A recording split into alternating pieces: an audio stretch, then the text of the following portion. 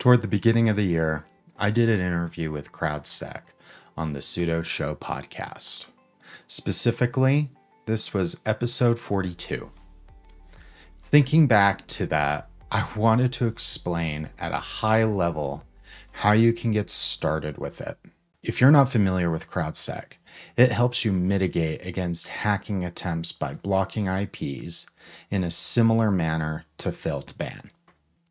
CrowdSec, though, is a modern take on this type of solution. And from my experience with both fail2ban and my very recent experience with CrowdSec, I also think CrowdSec's easier to configure and get going. CrowdSec and fail2ban are similar in the fact that they both block IPs based on behavior they see in your logs and they meet and that meets certain criteria.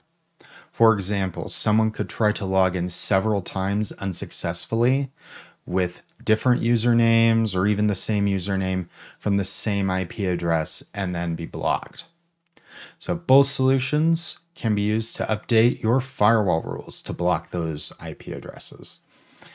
And instead of just keeping a local database like fail2ban does, with CrowdSec, you also utilize CrowdSec's database of known bad IPs that have been sourced by other users in the community. The more people that adopt CrowdSec, the better the data that is in CrowdSec's database. However, IPs don't stay malicious forever, so the database is updated when those IPs that are known to be used by bad actors are no longer being used by them. The two main pieces of software for CrowdSec that you need to use to get started is the CrowdSec agent, which is actually made up of two components, and the CrowdSec bouncer. The CrowdSec agent ingests your logs. An example would be monitoring your Apache logs, and then this would utilize the CrowdSec parser and a CrowdSec scenario. A parser is just a configuration file that allows you to specify in YAML how a string in a log should be parsed. A scenario allows you to define a potential event based on those logs parsed. So there are scenarios available now for log4j attacks or just a classic SSH brute force attack, and many others can be found on CrowdSec Hub. A link is provided down below. When CrowdSec detects IPs showing unwanted behavior in the logs based on the scenario that you define, it routes the data to the local API, which then sends the new IPs to the public CrowdSec database and to your local database. And after the local database is updated, it could send a notification and then it will also pass the data to the bouncers you are using. Now, bouncers connect to, uh, say, for example, your local IP tables instance or various platforms, including IPsec and many others, to update rules to reject IPs that are showing bad behavior in your logs.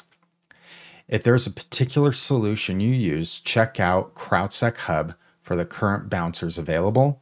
If there isn't one, you can either write your own or utilize the custom bouncer plugin, which allows you to pass CrowdSec data as arguments into a script. Make sure to go to sudo.show slash store and pick up a sudo show hoodie and feel smart while you write your custom CrowdSec bouncer and support the show while you're at it. CrowdSec ships standalone binaries, Debian and RPM packages, and OCI compliant container images for solutions like Kubernetes. Instructions on how to get going with your preferred program Instructions on how to get going with your preferred platform will be linked down below. Once you get the package installed and the service started, you are done.